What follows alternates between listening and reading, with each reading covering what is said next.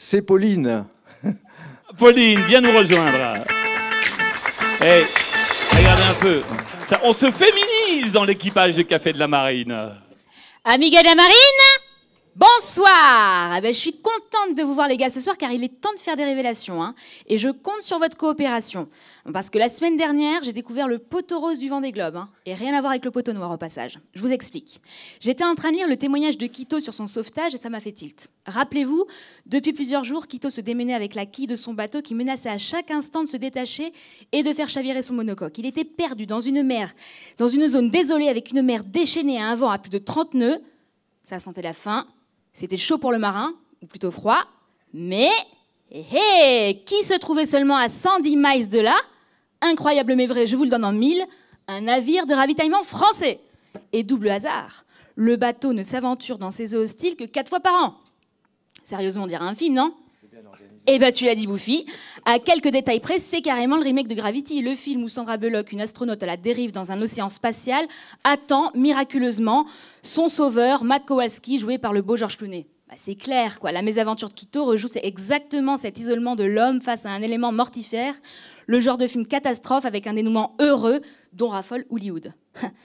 Et en plus de ça, coïncidence, Gravity a remporté le Golden Globe du meilleur réalisateur. Golden Globe, Vendée Globe, euh, ça vous choque pas un petit peu, vous? Ah, C'est bon, vous pouvez nous le dire, les gars, on est entre nous. Hein. Allez, c'est bon, on se dit tout.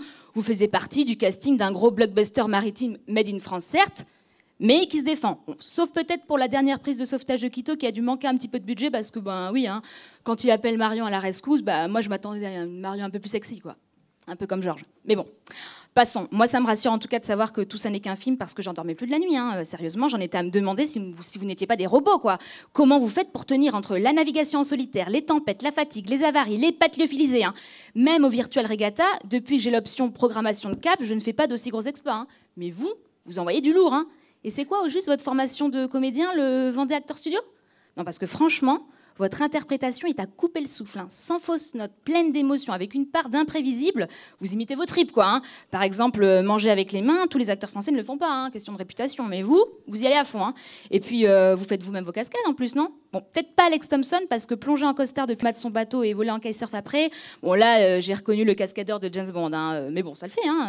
Et les effets spéciaux incroyable. Hein non, mais les vagues de 10 mètres dans, la mer de Tasmanie sont vraiment saisissantes de réalisme. hein. Et les icebergs sont faits avec une précision d'horloger incroyable. hein. Et j'aime beaucoup les animaux aussi, mais impossible de savoir si c'est de la 3D ou des figurants, tellement que c'est bien fait. En tout cas, ça se voit que c'est une grosse production et pas étonnant qu'il y ait tous ces placements de produits. Mais bon, ça n'empêche pas que le film est plein de qualité. Et j'espère vraiment qu'il remportera le Golden Vendée Globe du meilleur film de l'année. Et quant à vous, messieurs, ben, avant de reprendre le chemin des tournages en mer, euh, on a dû vous prévenir qu'une toute autre course vous attendait, non? Enfin, je veux dire, des courses.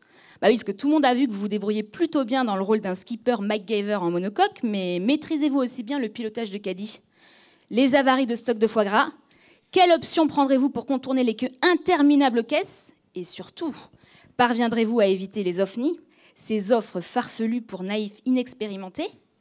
Eh oui, cette fois, pas de scénario, total impro, on est dans le même bateau les gars. hein. Joyeux Noël quand même. Allez, bon vent Merci Pauline. Et ce ne sont pas